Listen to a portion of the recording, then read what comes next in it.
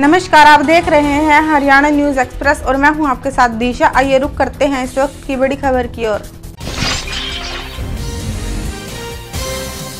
महाशिवरात्रि पर खराब गुणवत्ता वाले कुट्टू के आटे से बनी पूड़ी खाने से लालकुआ में स्थानीय पत्रकार की पत्नी की तबीयत बिगड़ गई। आटे से बनी पूड़ी खाने के बाद उनका जी मचलाने लगा था। उन्हें उल्टी होने लगी, जिसके बाद पत्रकार ने कोतवाली में इस मामले की शिकायत की। वहीं मामला सोशल मीडिया पर वायरल होने के बाद खाद्य सुरक्षा विभाग की टीम ने लाल लालकुआ पहुंचकर दुकान पर छापेमारी कर कुट्टू के आटे के नमूने एकत्र कर जाँच के लिए भेज दिए। कुट्टू का आटा बरेली की किसी कंपनी का बताया जा रहा है। फ़िलहाल खाद्य सुरक्षा विभाग की टीम इस पूरे मामले की जाँच में जुटी हुई है। लालकुआ से हमारे संवाददाता अंशु अग्रवाल की रिपोर्ट। कुट्टू के आटे की क्वालिटी के बारे में। जिस दुकानदार की शिकायत उसके यहाँ आए हैं।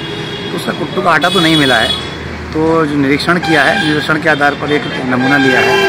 और जो कुट्टू के आटे का जो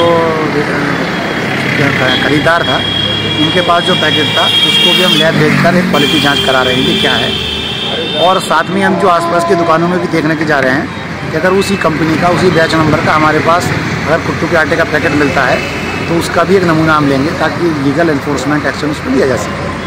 बाकी हम इस पर नज़र रखेंगे। इस पर जो कंपनी है जो ये बरेली की कोई कंपनी की सप्लाई कर रही है इस पर यहाँ और और जगह भी देखेंगे जहाँ भी इसके नमूने होते हैं उस तरह से नमूने लिए जाएँगे।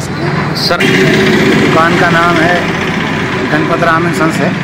इसके बारे में शिकायत थी उसी पे कार्रवाई की हमारे फेसबुक पेज को लाइक फॉलो और शेयर करें। साथ ही यूट्यूब चैनल को लाइक करें सब्सक्राइब करें और ताज़ा खबरों के लिए बेल आइकॉन को दबाना न भूलें।